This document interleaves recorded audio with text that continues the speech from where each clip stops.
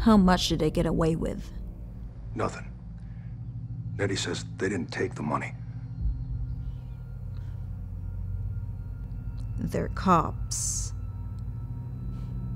Chief Parker put him up to it.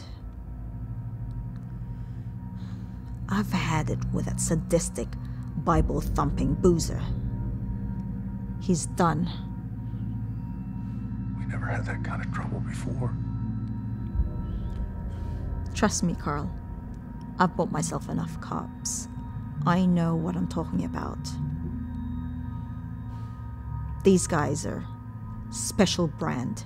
They're hard cases, not interested in money. A cop that's not for sale is like a dog with rabies. There's no medicine for it.